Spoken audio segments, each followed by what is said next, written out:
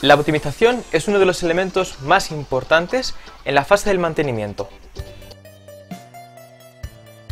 Cuando tú desarrollaste el sitio web y por ejemplo hiciste la parte de usabilidad, de la experiencia de usuario, todo fue en función de los parámetros que tenías al principio, como qué clientela es la que había, qué flujo de personal es el que entraba en la página, qué edades, qué zonas, qué perfiles.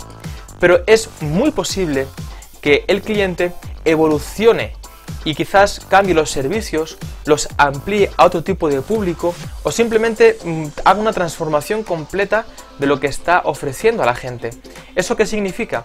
Que si la audiencia cambia, quizás poco o de forma mm, absoluta, el sitio web ya no está perfilado a la gente que ahora está entrando.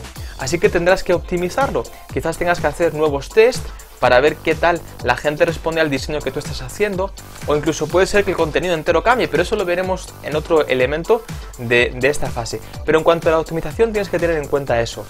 ¿Qué gente es la que está entrando? ¿Está entrando la misma gente que entraba cuando tú hiciste el diseño inicial?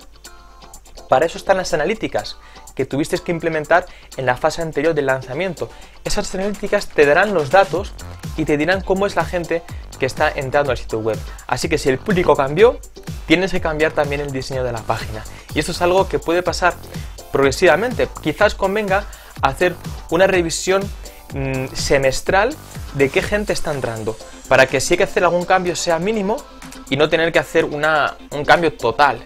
Pero bueno, también según si el cliente no te pide eso y te pide anual para que no sea tan, tan cambiante, ya mm, depende de los gustos, pero es algo que tienes que hacer, comprobar si el diseño inicial es acorde al tráfico de gente actual que estás generando.